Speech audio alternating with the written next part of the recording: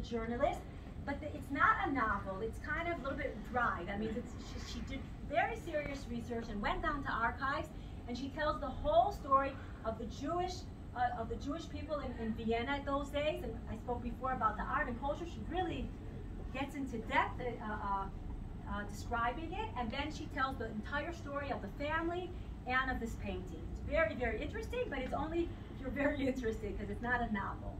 Um, and the movie, in my opinion, is excellent. It's a little bit Hollywoody, but it's still, in my opinion, excellent. So I just want to remind uh, the story, this, this case became like um, like a light, or I don't know how to call it. What? Beacon? Beacon. Okay? For, for other people to understand that it's possible. And it, it's time to, to, to do to make historical justice. And we don't have to shut our mouths anymore, okay? We have a right. So uh, this is the, um, I'm reminding you that it's a gorgeous, gorgeous painting of Gustav Klimt. He had what's called the gold period. He laid on the canvas gold leaves, just like we know from manuscripts. It's really quite incredible. And also all these gorgeous decorations. It kind of reminds us of Byzantine art. Um, and the story is, and listen to the details I'm giving you now, is that her husband commissioned Klimt to paint his wife's portrait. And I reminded you before that some of the Jews were patrons of artists. So he, he painted many um, many Jewish women, and it also not not 100% moral. This whole uh, story. In any case, um, that this is the woman. Now she's a she's a lovely woman, and I want you to pay attention. The name of this painting is Portrait of Adele Bloch-Bauer. Now, what's the name that you know? Woman in Gold. That's not the name of the painting. The name of the painting is Portrait of Adele Bloch-Bauer, a young woman. She was a high society in the Viennese cultural world. Um, she had a salon that people used to come and do these special evenings and you know all these social evenings. But she was very frail and sick, and she passed away at a young age.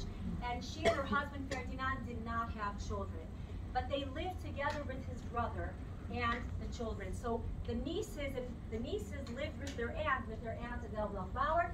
And look at how gorgeous, how he portrayed her, so frail, um, and some kind of like her, her, complex complexity and like something like psychological, really quite incredible. Uh, the painting of Adele Bloch-Bauer, this obviously is a photograph of her from those days. So her niece, her niece Maria Altmann, Adele's niece that passed away in the meantime in 2011, after her sister Louise died, both of them managed to flee from, uh, and they lived in California all the years. She decided she just can't see the woman in gold, that's how it's called, hung in the Belvedere Museum in Vienna. Because the story is they came to their house, the SS soldiers, and they stole everything the family had.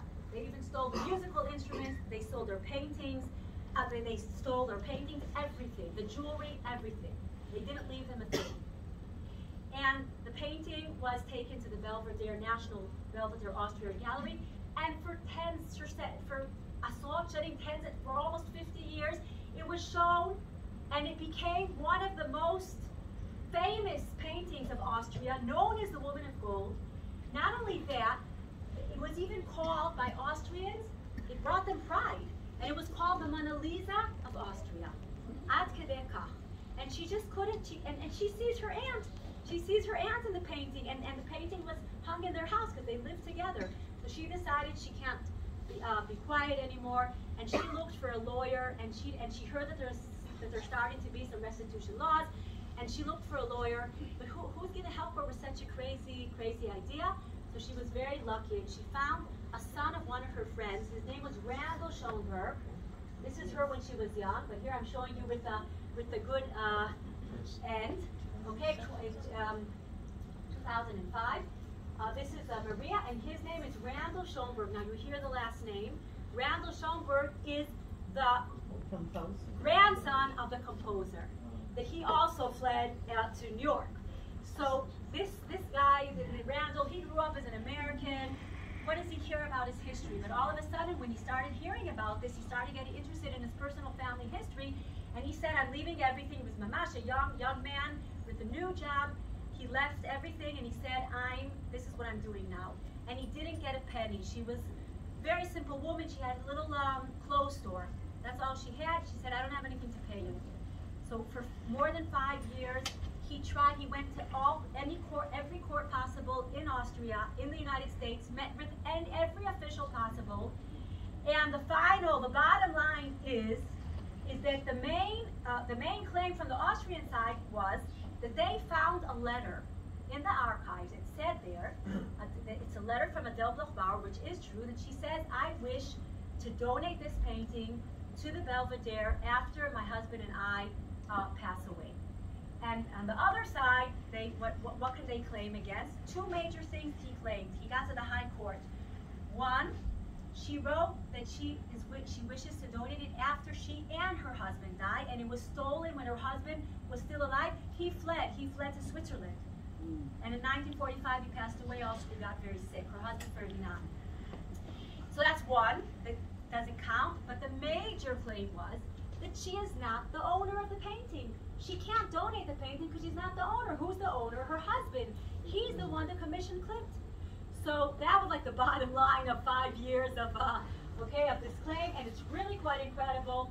And the main thing was that there was historical justice done, and it was very, you know, all the news and and, and everyone heard about this, and this really led people to start looking and to start thinking maybe they also have a possibility.